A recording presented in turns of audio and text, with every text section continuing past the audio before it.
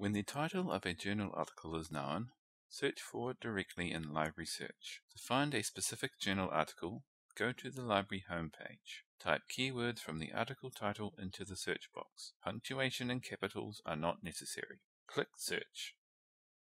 The item needed is often at the top of the results list. If the item is not on the first part of the page, check the spelling, add more words to the title, or search again using the journal title or DOI number. To view details of the article, click on the title.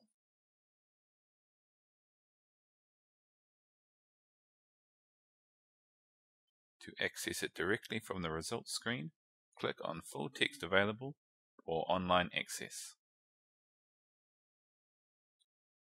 Select the database if this screen comes up, and the article will open. Once open, take a moment to locate the PDF or link to full text icon. The location will vary in each different database. Once open, the article can be printed, emailed, or saved. The library holds print copies of some journals also. If this is the case, then Library Search will find the journal title, not the article title. To find a journal, Type keywords from the journal title into the search box and click Search. In the results list, make sure that the resource type is a journal and not an article.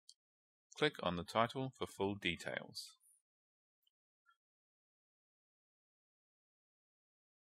The details page shows the location and availability of the journal.